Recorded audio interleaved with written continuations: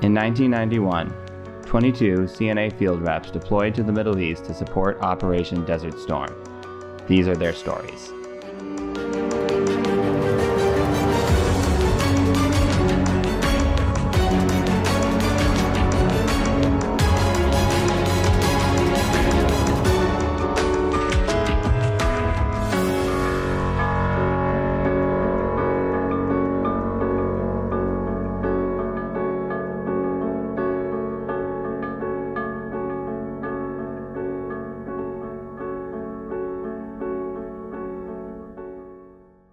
Welcome to Analysis in Combat. I'm John Stimson. This week, the story of two CNA analysts who were assigned to command ships during Desert Storm. Robert Ward, stationed aboard USS John F. Kennedy, the flagship of the Red Sea Battle Force, commanded by Rear Admiral Mixson, and Steve Karrpi, stationed aboard USS America, the flagship of Cruiser Destroyer Group 2, commanded by Rear Admiral Katz. Robert and Steve lived and worked alongside sailors and analyzed Navy operations in real time. On this episode of Analysis in Combat, you'll hear about their research and the moment they realized it would impact the course of the conflict. So, why don't you start off by introducing yourself and telling me what your role was in Desert Storm? Yeah, I'm Robert Ward. I'm a part time member of the CNA staff now. Back in 1990, I got word I was going to be a augmentee to the John F. Kennedy battle group in the Red Sea. I flew out first week of January 1991. It was just right on the beginning of everyone was on edge of whether the war was going to start or not. whether the, the Iraqis would evacuate Kuwait. So the threat is very high that on, on board the ship, there'd been information that there would probably, if, if the Iraqis decided they weren't going to evacuate, they would probably do a, a preemptive strike on the battle group. So threats were very high. When I got there the first week of January, I flew up to the carrier. When we arrived, we were met by armed guards searching all all of us, bodily searching us and searching our luggage before we were allowed to come into the the island on the carrier. So the threats were very high that must have made it feel very real. Yeah, yeah. we did. And then uh, within a day, a few days, that was the first first week of January, and within a few days, it, it became pretty clear that the uh, Iraqis were not going to pull out of Kuwait. So the the admiral decided to set condition zebra, which means he locks up the ship, closes all the hatches, makes it watertight, airtight. There was a you know, a, a great concern about uh, gas attack on the ship too. So we all had to take our, our, our shots while we were there. Yeah. So after I after I got on the ship, I of course the ship was the the U, uh, USS John F. Kennedy. It was a carrier CV sixty seven. Uh, the admiral aboard was Riley Mixson, Rear Admiral Riley Mixson. He was a carrier, a commander carrier group two. He also, at that time, was commander of the Red Sea Battle Force, which ended up being three carrier strike groups at the beginning of the war. But I remember that, that some of the uh, more senior uh, officers on the air wing, when when I arrived, that was really excited them because they thought, and they said this that you know when you when you see the CNA guy show up out here, you know that means it's really going to happen.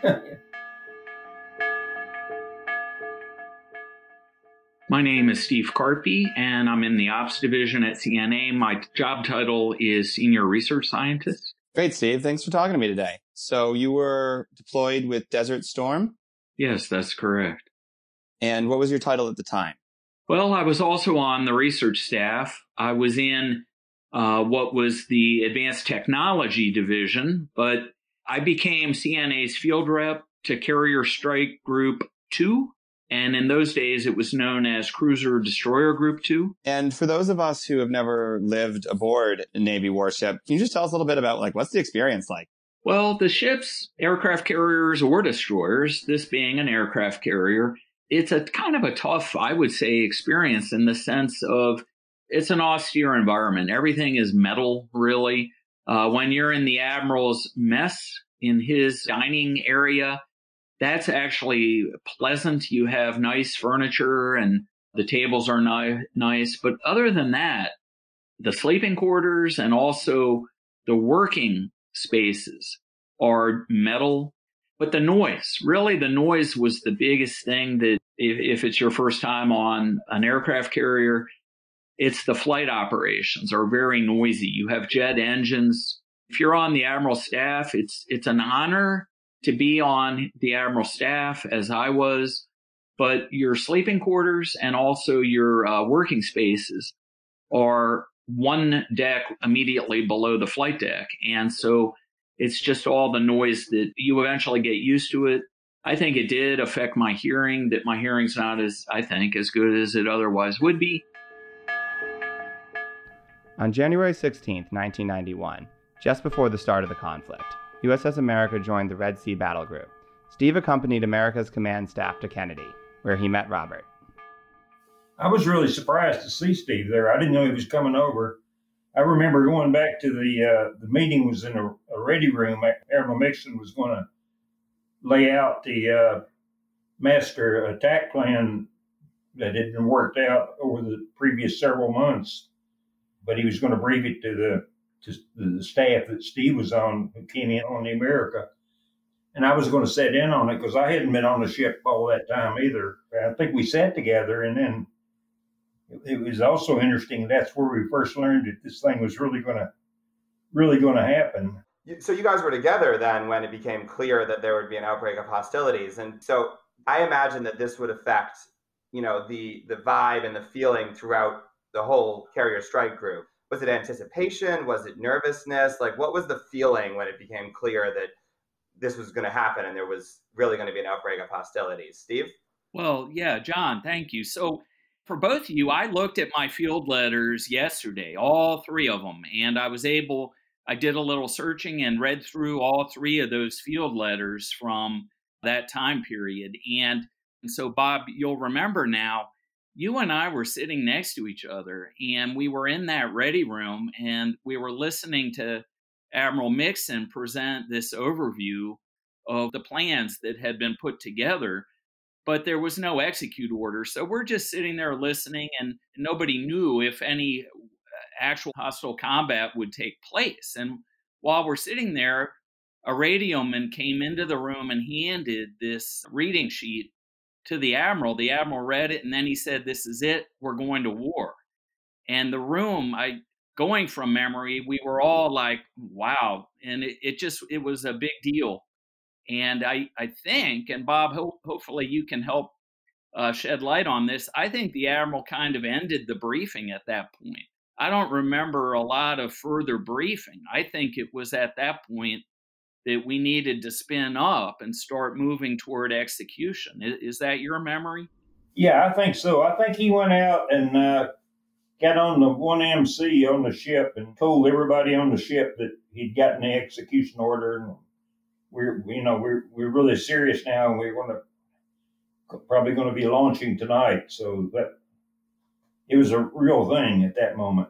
Right, and ba- based on my field letter, the applicable one, the execution started um, around I think it was around 1:30 in the morning local time, which meaning that's when launches of various U.S. assets started launching around 1.30 in the morning, which was only a handful of hours into the future. That's about right. I remember it was certainly we stayed up all night that night.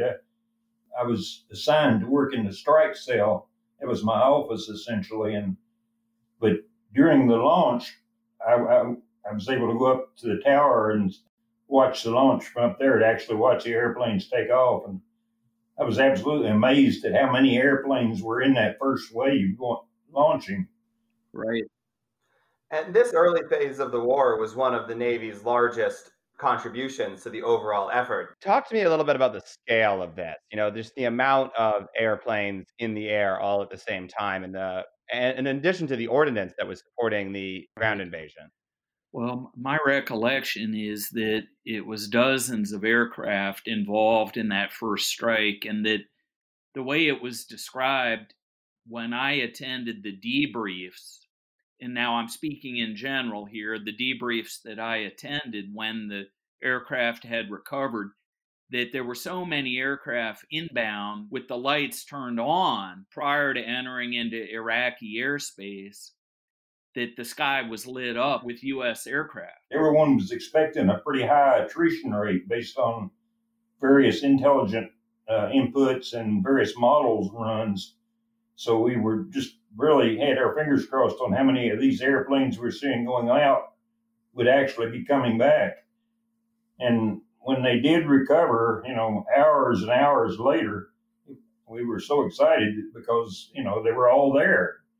And that the, the air crews were jubilant because they had survived. And, you know, I went to their debriefs and they were talking about the sky being lit up like the mall on the 4th of July with AAA gunfire and the SAMs flying at them Back on USS America, new precautions made it clear that the ship was now in an active war zone. We were issued gas masks, and I think that would be a surprise even to today's research staff at CNA who deploy, because I think it's unusual. To my knowledge, gas masks have not been issued to at sea personnel subsequent to Desert Storm. So I'm pretty sure that Bob Ward and Tim Carroll and uh, everyone else, uh, there were seven CNA field reps on the six aircraft carriers. And the reason was that there was a indications that the Iraqis may use chemical weapons. They had used them against Iran during the Iran Iraq war. And so that's that's why we had those. Wow. So, you know, this is just really shows how like our, you know, people think about field, you know, anal- military analysts, you know, in the offices, far from conflict, but this really is like you were, you in a situation where it was possible that you were going to undergo chemical fire. Yeah, that's right. And, and it turned out mines as well. The Iraqis had let loose sea mines. Um, and the way sea mines are normally used is they're moored so they don't just float around, but some of these were just floating around. Hmm. I'm pretty sure the interpretation at the time was the Iraqis had done that on purpose, just let them flow free. And so, yeah, I remember seeing myself a, a sea mine. Of course, the ship's crew knew it was there, and we were, of course, avoiding the sea mine, but you could see it. You could see the sea mine floating by. And so, yeah, it was the exercises, yes, but this was different. We'll be right back.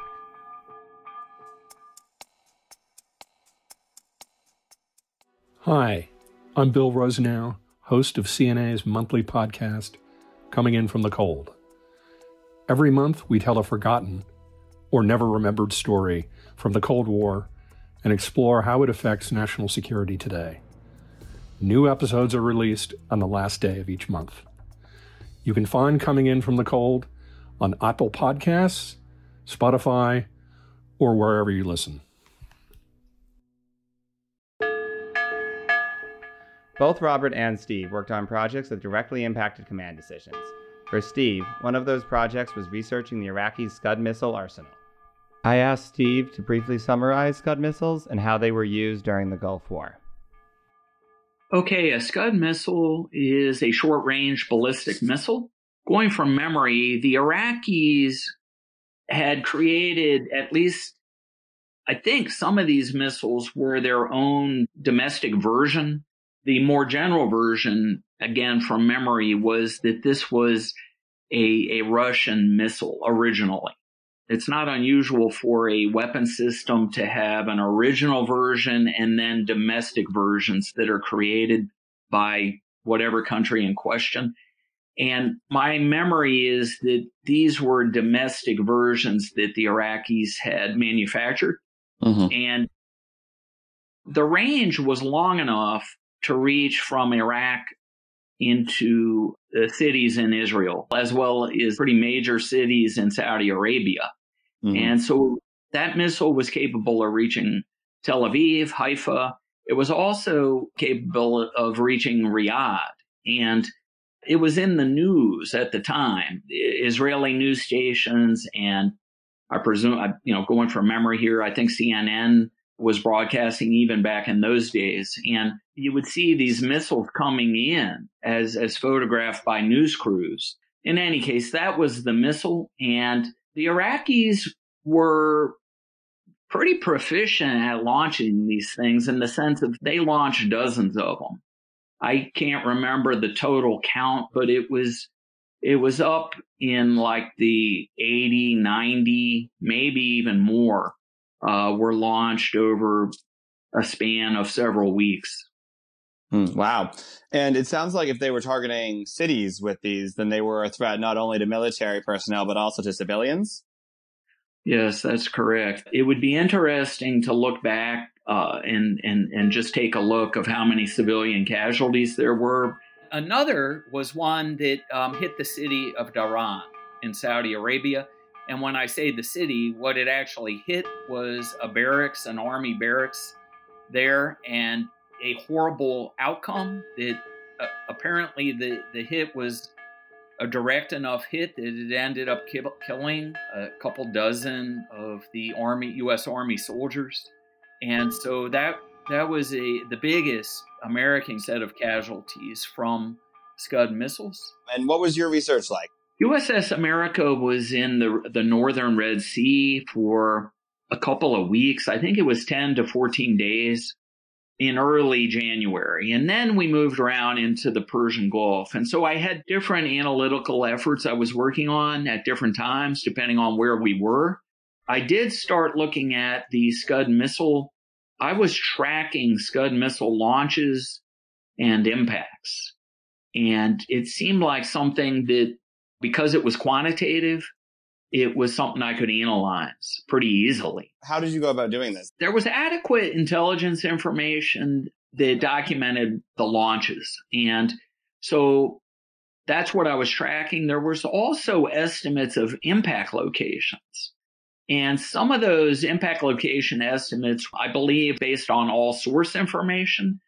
And that term is a technical term. It just means that every available piece of information. And some of that, of course, would be just the civilian reporting, you know, whether it's the government of Israel or the government of Saudi Arabia reporting where the impacts were. But it was a combination of multiple sources for the impact locations, the launch locations. It was the U.S. intelligence information. And so the times of those launches and the launch where they were launched from and the impact locations. And so I was tracking all of that and correlating the information, correlating it. And I kept track of the dates, of course, date and time of day. So that's what I was compiling. And I was looking for patterns. I thought, hmm, there could be some patterns here. So that's what I was looking for. And sure enough, I did notice there were patterns. There were definitely some interesting patterns, both in terms of time of day. The Iraqis were launching during certain uh, periods of, of the day and also the launch locations. There were some patterns there as well. And that was kind of a eureka moment when I noticed the patterns and I shared that. I was as you might imagine, I was kind of excited about that. I thought that was pretty noteworthy. And so I shared it with um, the Admiral's intelligence officer, and he agreed. He thought this was very interesting. Mm-hmm. And what did the officer do with that information? Well, my memory is that he wrote up a, a nice summary of it and sent it out as an intelligence summary. And it was a naval message, as I recall. And again, you know, I'm going from memory here, and I think he ran it by me. So he wrote that up and sent it out to, as I recall, to the other aircraft carrier battle groups. And so that was helped to use to like help pick targets to counter this Scud missile aggression then. Is that correct?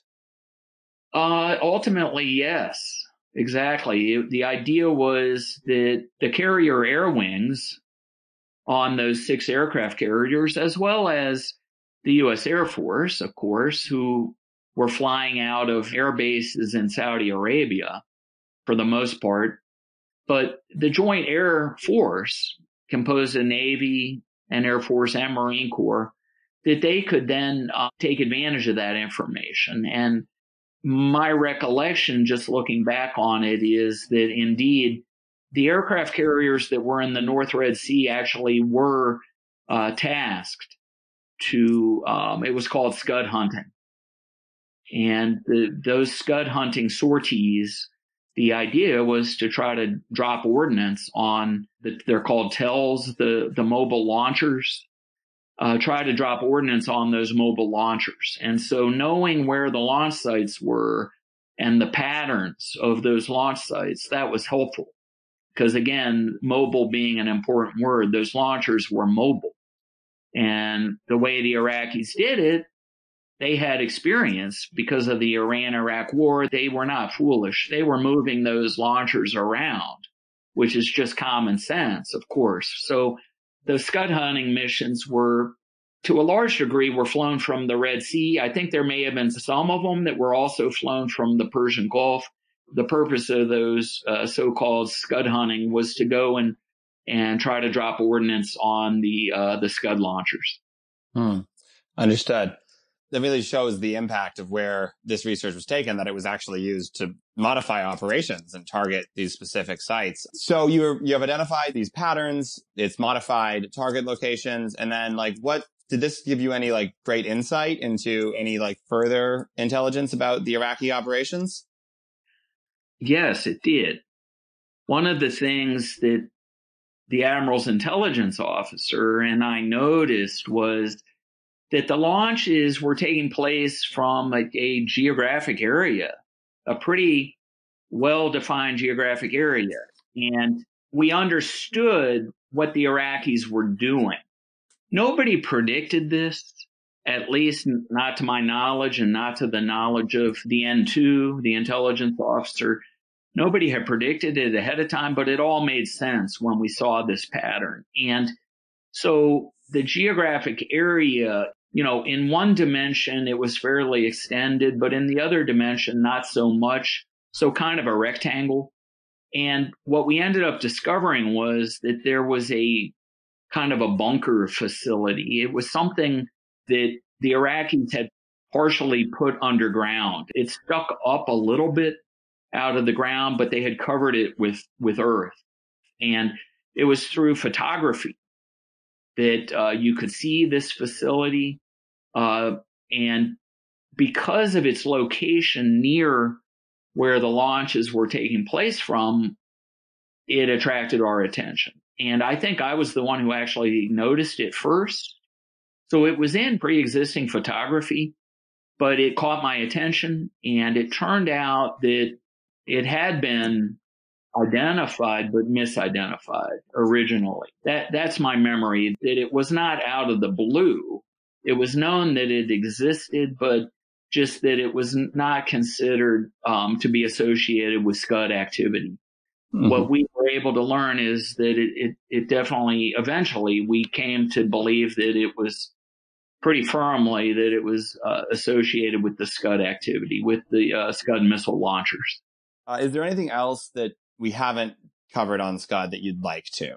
Well, John, the way it was it was exciting be in a few different angles. One was that it, it mattered and the the aircraft carrier groups that were in the Red Sea, this was a big part of what they were tasked to do. USS America left there, I think it was around the two week point, but we were still, even though we had left and gone into the Persian Gulf, those other two carriers were still carrying out scud hunting operations. And so it was something that the Navy had been tasked to, uh, a mission they had been tasked to do. And it was also considered politically important. The Israelis and the Saudis, but I would say even more so the Israelis. It was a big deal for them. Aboard Kennedy, Robert worked on a variety of projects for the command. He tells me that he was working 24 7 my concerns were with the rest of the Red Sea battle force. There were two other carriers there. So I was working to provide an analysis to the admiral on how the entire battle force was effectiveness was. In the first week of the war, it was pretty much around the clock operation. Mm-hmm. But then as the time went on, we found that we had to sleep occasionally, so we ended up working shifts.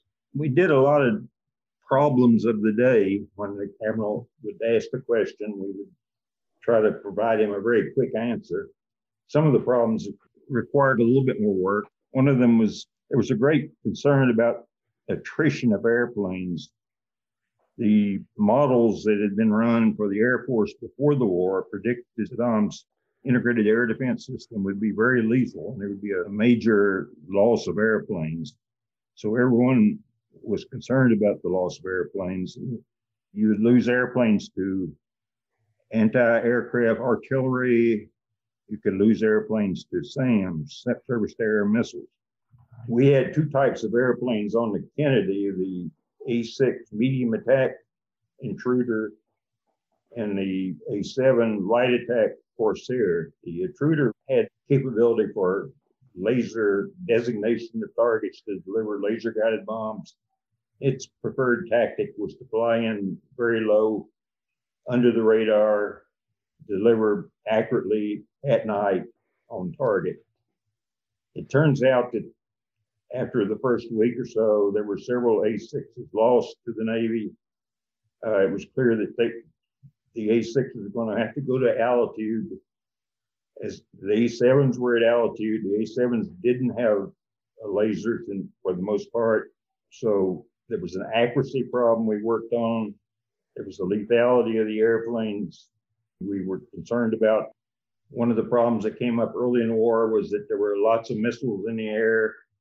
Typically, in those days, the type of missiles that were used, but in Saddam's integrated air defense system were Vietnam era Soviet missiles. And so there was tactics to defeat them if the air crew could see them coming. So there was a thing called a radar threat warning receiver that would allow you to know if a missile has been launched at you and whether it was guiding on you. That allowed you to take the maneuvers to defeat the missile. One of the problems that came up was that not all the missiles were triggering the warning system. We went through an analysis of why that was taking place. At first, it was thought that the a new generation of signals for the missile had been implemented that we wouldn't be able to actually acquire. But the funny thing was that some of the air crews were receiving signals, others weren't. So we tried to correlate who was and who wasn't getting it with the equipment on the airplane. Finally found out after a great deal of cross correlation that it really got down to the tactics the enemy was using. And sometimes they weren't attaching the signals to the the flight of the missile, which undoubtedly reduced the effectiveness of the missile to essentially zero. But that that was presumably in fear of the anti-radiation missiles that were used by the air crew in retaliation against the SAM sites. So let's get into a bit of the uh, subcategories here for strike warfare. There's the uh, mechanical element, and I believe that has to do with like the effectiveness of the weapons generally. Can you talk about that a little bit?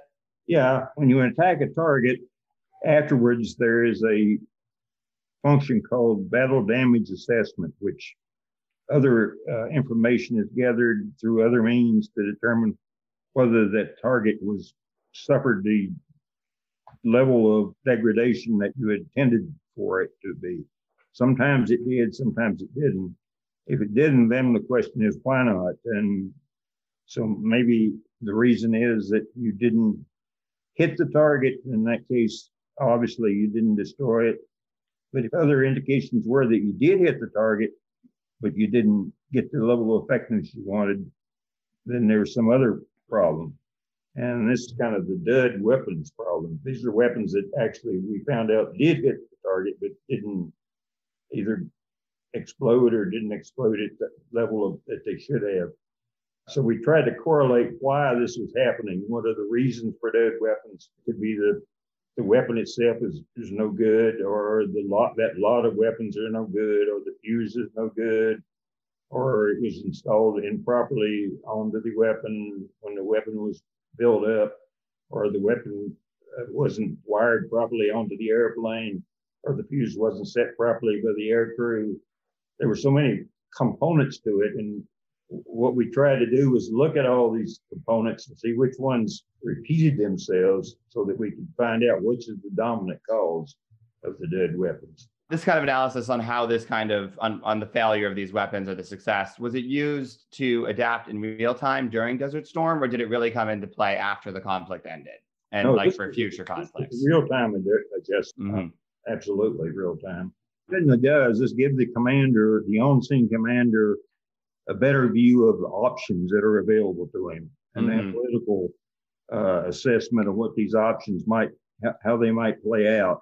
Should he spend his effort to get a new lot of bombs? Should he get a new lot of fuses or should he get a better training for the ordnance guy that built the bomb or how do you approach this and which is the dominant factor? That's where you should put, put your effort. And Right. So essentially, it's a question of resource allocation, right? Like, you know, we can spend all the time in the world buying new bombs, but if if the operators aren't trained properly to, you know, target them correctly, you're not going to really fix the problem. That's right. Um, and this is why it's so important to have objective third-party personnel involved in these analysis who, you know, don't have a pre-existing stake in the strategy that the military may have come up with, right? If the military was invested in the idea that just to give an example, more ordnance equals more effectiveness, then they may go down that that path of choosing more ordnance. But by bringing in outside academic observers like yourself, they're able to actually see where is the problem coming from and adjust accordingly. I think that's right. USS America was one of several diesel powered carriers that deployed during Desert Storm. This model was being phased out of the fleet in favor of nuclear powered ships. Navy personnel took to the skies to capture one of the last times these historic American vessels would face combat together. That was a kind of a fun day that we did. It was when the hostilities had been winding down, and all four of the carriers went into formation. And I looked at the photo. Those photos are available on the internet. I just looked at that earlier today, and it was kind of neat. And it was USS Midway is the oldest of of those four carriers, and you can see in that photo that Midway is smaller than the others. I think Ranger is then the second smallest because it was actually older than USS America, and then you had America and Roosevelt, and I think it was a helicopter that took the photos. That was a fun day. Very cool. Very cool. And we can certainly make those photos available uh, in the show notes for listeners. So being on the deck during that, did you get the sense of the scale of what this was actually going to look like? Or did it really like click once you actually stepped back and saw the picture in its full scale? We had a pretty good sense because ships simply don't operate that close to each other. U.S. Navy warships.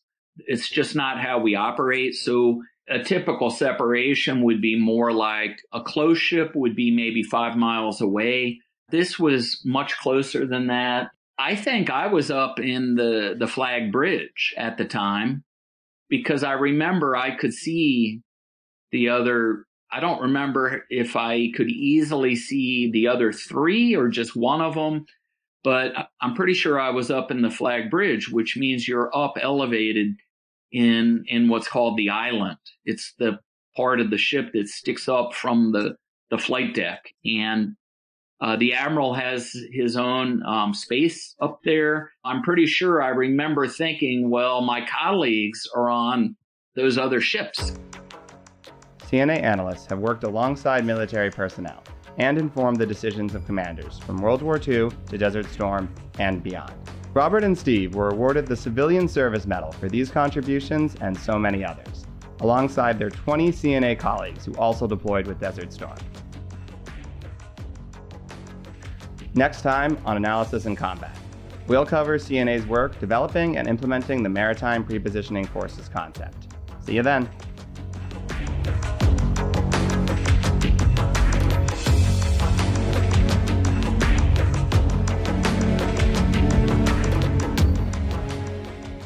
Analysis in Combat is edited and produced by John Stimson, with executive producer Don Burrows. Theme music is by Edward Granga. If you enjoy our show, we'd love if you could give us a five star review on Apple Podcasts and tell your friends about us. Thanks for listening. We'll see you in two weeks.